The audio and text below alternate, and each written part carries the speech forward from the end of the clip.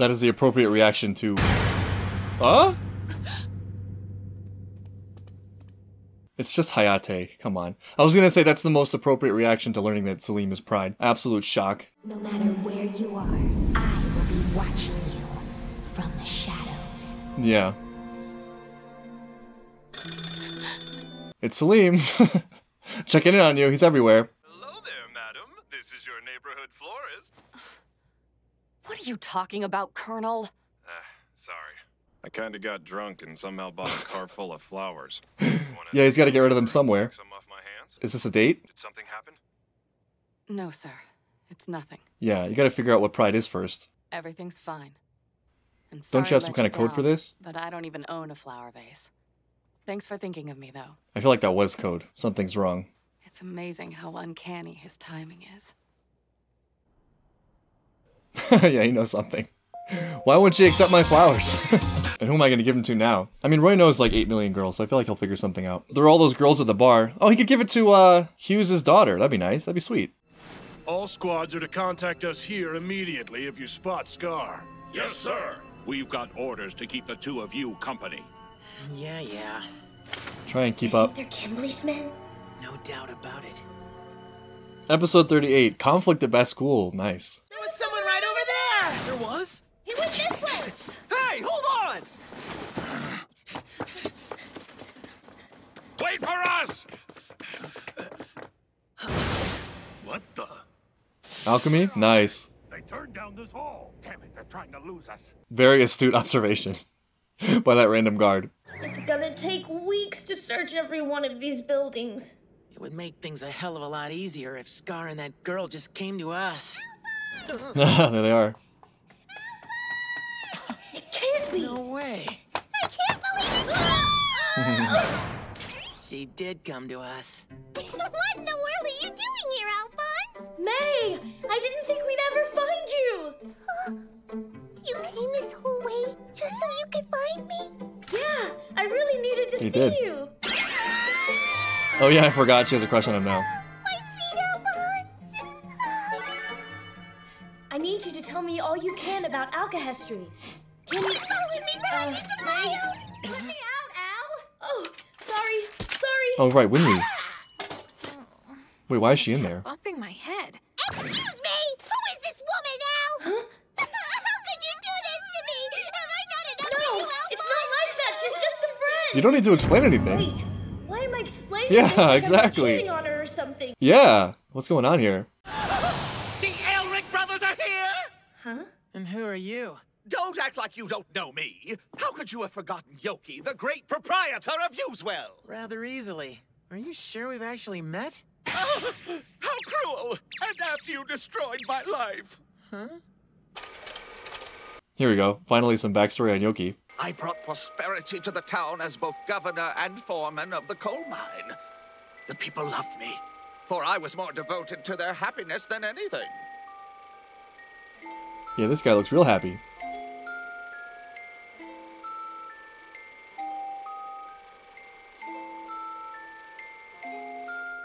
Happiness for everyone. We were cursed by the arrival of the greatest criminal of all time, the state alchemist, Okay. Edward Elric.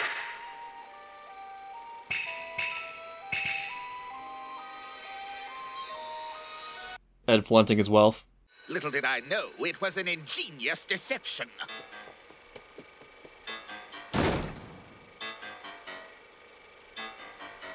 Oh, it was alchemy? Wasn't that the original purpose of alchemy? To turn things into gold? So he helped the workers? Was this part of his job or just something he did for fun? Even worse, I was banished by the ungrateful townspeople. The military even fell for their wretched lies. I set out to renew my life in every trade imaginable. But I failed at each one. I then tried to invest my savings, That's my kind of investing. left with no other options. I called upon a wealthy family to request a charitable This story is great. It's 100% accurate, everything he's saying.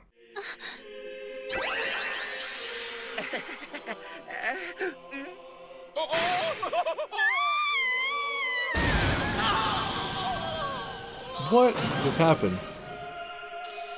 Looks like Yoki's blasting off again. None of it would have happened And he ended up in weren't Ishbal. the Elric brothers. which is where we first saw him. My revenge upon the ones who had done this to me. Yeah, good luck with and that. it will be a vengeance far worse than death. Highly right. unlikely. I'll never let a thieving hussy like you take it from me! Just call me a hussy? I already told you, she's just a childhood friend. You should think He's about still something explaining. else, like alchemy. You better listen to me, damn it! yeah, how sad. Life is Yeah. hard. Trust me. I know just how you Are feel. you patronizing me? Don't forget, Major. I know Scar is our main objective. You'll be the first to know if we locate him.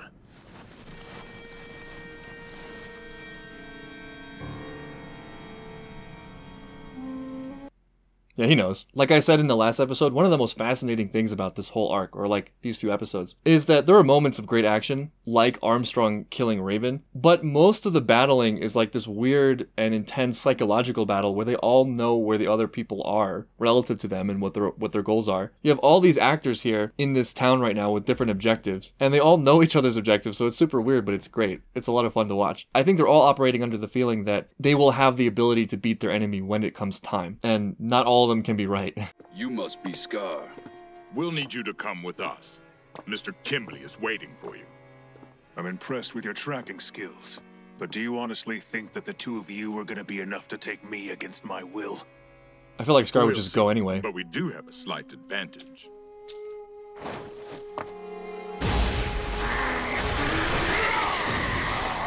I don't know if I'd call that an advantage. This reminds me of Teenage Mutant Ninja Turtles. It's Bebop and Rocksteady, Full Metal Yoki. Alchemist. the most important character, and Full Zam- Zampano and Alchemist. Jerso. I've learned a lot since we met. Like what it takes to create a Philosopher's Stone. I know there's something wrong with this country, and there's something rotten with its alchemy. We've decided to look into the possibilities of Xingese alchemy, and we figured that she could help. You're on the right path. This book is a collection of his research and theories, but they'll be impossible to translate without the assistance of Scar. What do we need him for? You gotta put your differences aside. What do you think that was? That's the building Scar was in. You think it's the military? Look, all of you just need to stay put and hide out in here. Al and I'll find out what's going on. So Scar's here. Right, that's a big deal for Winry, but I feel like she already sort of made her choice. It definitely doesn't mean she has to like him or forgive him, but I feel like she turned a corner in that episode. In the Let It All Out episode. About Dr. Marcoh, I sort of like how it's come full circle in a way where, like, he initially trusted Ed to find the truth for himself, the truth within the truth. And Ed did exactly that. And that was a lot of trust that Marcoh put in him. And now here they are more on the same page. Like, it worked out, which is nice. It could have gone wrong, but Dr. Marcoh's insights were correct. His intuition was right about Ed. He's fast for his size.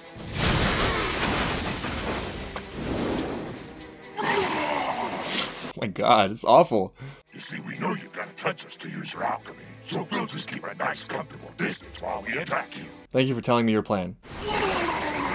the sound, too. It's awful. I guess we got here just in the nick of time, huh? You did. Uh, didn't they just run off somewhere? His voice. Brother, I think these are Kimblee's goons. His voice, that's what alarms you about this rhinoceros and this frog thing? Their voice? Where did their shirts go? I guess they ripped off. Thank God their pants stayed on. You just sit tight while we take care of Scar. Ah! Talking monsters! What's there you go. That's appropriate. We're all on the same side. I've never teamed up with any freaky looking monsters! Help us! They're pretending to be our friends so they can eat us! This dude's just dead. Look at him. He's bleeding. I don't know why that bothers me so much. Damn, look at that just fist fighting this giant frog thing. Kid is even faster than Scar. That's good to know. Please stop. Damn, Ed's combat is insane. It's so light! It's incredible! Amazing! Oh, right, his new automail. Let's see how fast you move covered in my specs. Your special power is These villains, awesome. man, they're too much. I'm so uncomfortable. And you must be the enemy if I don't know you! I bet you can't even prove to me that you're on our side! Fine, I'll transform back to prove it to you. You just got played, dude. Thanks for the opportunity, sucker! Zampano! It's kinda stupid to drop your defense during combat. damn it, let me go! All right, big guy. Why don't you take a little nap? He just snap his neck solid snake style? He's a heedless fool to charge me without thinking. You offer your arm to me, That's no fool. then I'll take it. I hate to tell you, but my arm isn't steel anymore.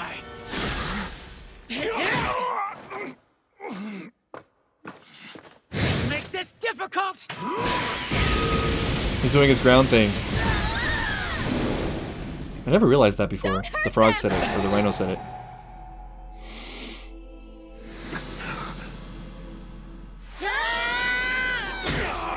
Wow, it's amazing that Winry actually gave him pause like that.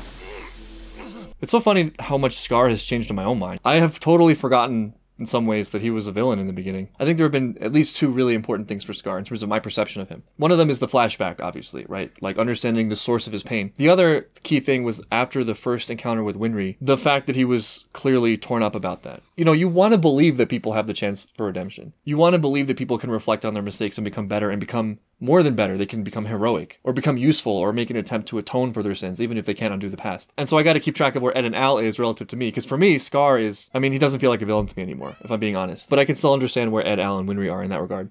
That's close enough. You brought her here, Major?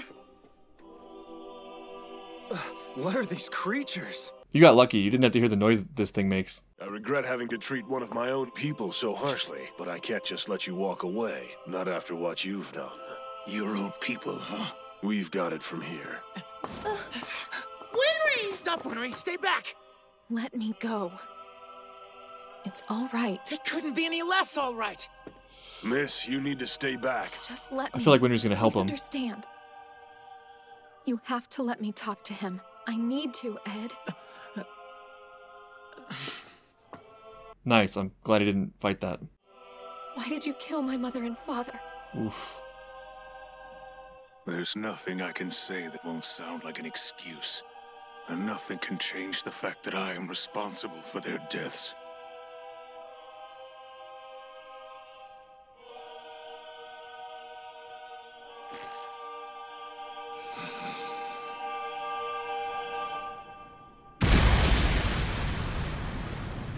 Happened? What just happened? Yeah. That's what Major Miles was. So I'm going to take a wild guess here and say that that wasn't Scar escaping, that that was them coming to some kind of arrangement or agreement and figuring out a plan to help them. I would have loved to see a longer conversation between him and Winry, but I feel like as far as answers go to Winry's question, that wasn't a bad one because at least he accepted responsibility. And he's not making excuses, and there's really nothing that he could say that would make anything better, right? Like even if he broke down in tears and apologized, it wouldn't really make much difference. It's also really big for Winry because they're about to straight up execute Scar, and she could have just let that happen, right? But she stepped in trying to get a better understanding. You know, her mind's working. Like I said, I think the episode where she first met Scar was a tragic day for her, but I think it was a turning point in some ways of her starting to come to terms with it. Though it'll be really interesting to see how their dynamic continues to play out.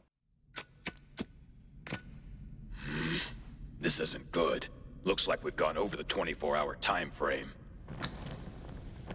And you know our ice Oh yeah, she's gonna close them Patience in. and compassion aren't really her strong suits. we did the best we could. We didn't know we'd have to grope our way around back in the dark. Maybe if these guys hadn't made us douse the lights so their monster wouldn't see us, we'd have made it. They probably saved you. Welcome back, sir. I thought you were ordered to seal up this hole after 24 hours. Uh, yes, sir. But as you can see, it hasn't been 24 hours yet. Is his clock broken? Oh. It's a nice Got watch, is isn't it? General Armstrong gave it to me whenever you guys left. Wow, some compassion. See, I knew she was good. She's got that Armstrong DNA. She can't help herself. Did you find the advance party? There are only Look at two the softness. survivors. May I ask what you're doing? I'm looking at the mountains. Looking for Drachman spies. I like the winters up here. Oh. Everything's black and white. I appreciate the pure simplicity of it. That's not true, sir. Hmm. You can see blue if you look up. There's nothing that's entirely black and white. And thanks for showing your was that soldiers a little mercy. It means a lot, sir. That's nice. But I don't know what you're talking about. That is the most compassion you're ever going to get out of Briggs. It appears we have guests.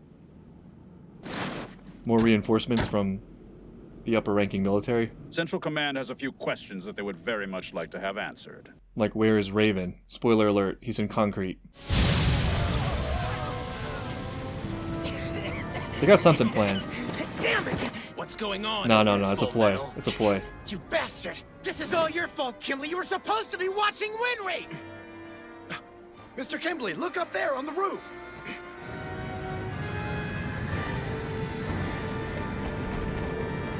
This is a lot of trust they're placing in Scar with Winry's life. No! I knew. Damn it. Damn it. Damn it. That was one of the weirdest episodes in recent memory, but also really, really good. Like, there was just so many different parts of it. There was the whole Yoki flashback, which was sort of bizarre. I don't know if we necessarily needed it, but the style was interesting. Maybe they just felt bad leaving him out of the show. Because he was sort of introduced with no backstory in the beginning. Then you also had Teenage Mutant Ninja Chimeras with that horrible noise that is going to haunt me for the rest of my life, and a great battle of wits between Ed and Scar. But I think most interesting for me is the Winry Scar dynamic, even though it was really short.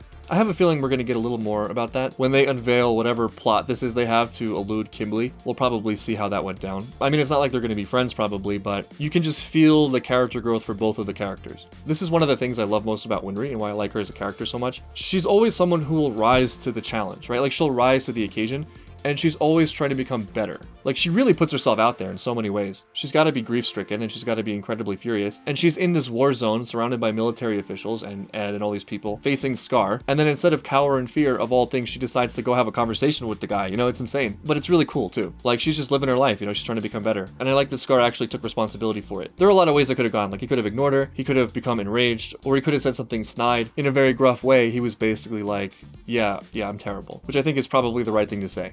And it shows that he's thinking about it, or he has thought about it. And so we have this challenge of like, now that we're all together, how do we elude Kimblee and how do we get out of here? So it'll be really cool to see how things play out. But that's the end of episode 38. I'll see you guys very soon for episode 39.